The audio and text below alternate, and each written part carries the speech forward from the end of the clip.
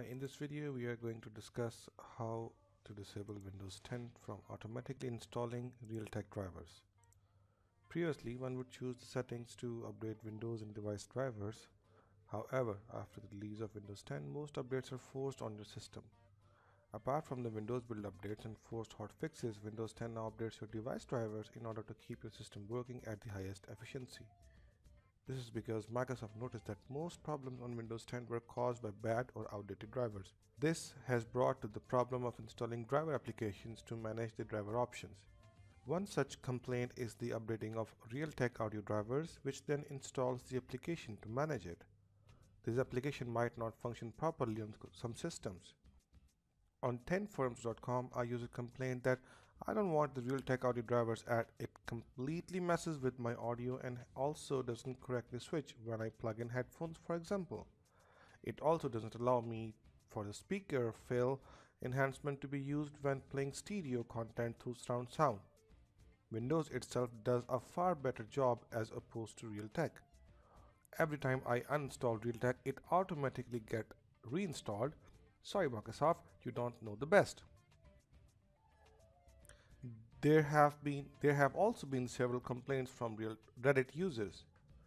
Realtek drivers are sound drivers for your PC. The Realtek Audio Manager is supplied by Realtek and it also and it allows you to manage your connection and improve sound stability and sound quality. Your motherboard may have an onboard sound built into it because of which you have the Realtek Audio Manager installed on your computer. However, it looks like Realtek Audio Manager doesn't seem to work very well on Windows 10, thus generating a lot of complaints. It seems that every time Windows finds that your Realtek drivers are not up to date, it updates them and gives you Realtek Audio Manager application. Uninstalling the application from the uninstaller will just create a loop because doing that also uninstalls the latest sound drivers. For some people, the Realtek Sound Manager can be annoying and not actually work for them. If it is unappealing to you, in this video we'll show you how to get rid of it and still have your sound card working. Our first method is to prevent automatic installation.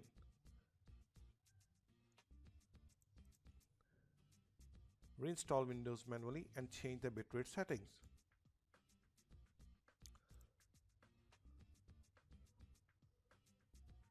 Now let's go to control panel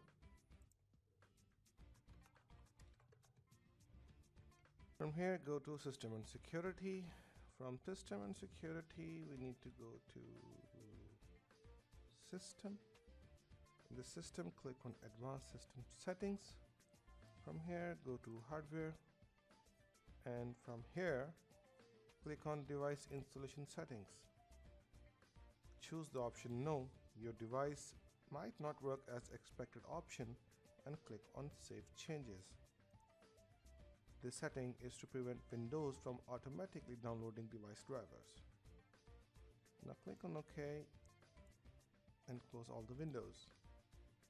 Press Windows and R key, type devmgmt.msc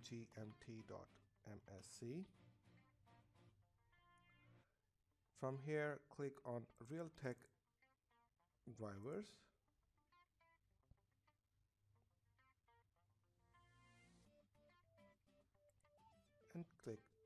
disable. Once done once done repeat the same process to open device manager. Expand sound video and game controller. Right click on the realtek device driver and click on update driver. A dialog will appear asking you to search automatically for updated driver or browse your computer for the driver software.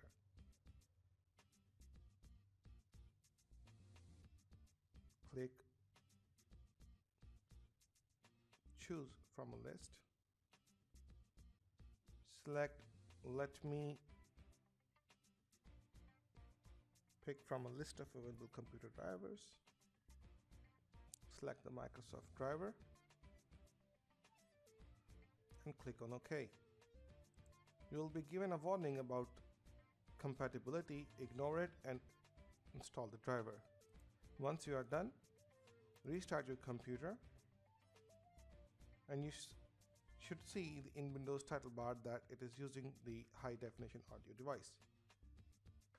Right click on the speaker icon, then click on playback devices, select speakers, click on properties, go to advanced tab and change the sample rate and bit depth to the highest possible on your system.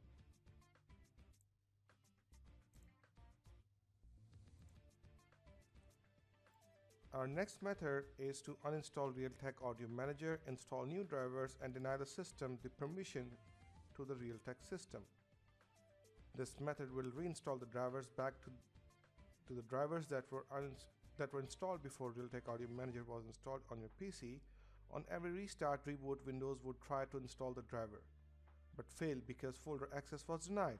It will instead reinstall the Microsoft driver and continue with the boot this information can be seen from the event logs.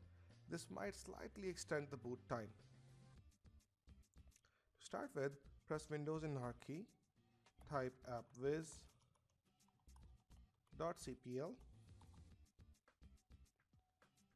From Program and Feature, double-click on your Realtek uh, Realtek Audio Manager and click on Uninstall Program. This will un also uninstall the sound drivers so we'll need to reinstall them. Once you have uninstalled the Realtek HD Audio Manager, from the run command type dev devmgmt.msc right click the sound video and game controller. For Realtek HD audio device right click on it and click on update driver. Select browse my computer for driver software and then click the let me pick from a list of available drivers. From here, select Microsoft driver high definition audio device and click on OK. You will get a warning about compatibility and you can ignore it. After completing the installation, browse to the location, C, C, program files, from here Realtek Audio HDA right click on any mp area and click on properties. From here go to security tab and click on edit. Select system. And in the permission settings click on deny. Once it is done click OK and then restart your computer once this is done, it won't be able to reinstall Realtek Audio Manager on your computer, but it might increase your boot time with a minor difference. Our third method is to roll back drivers.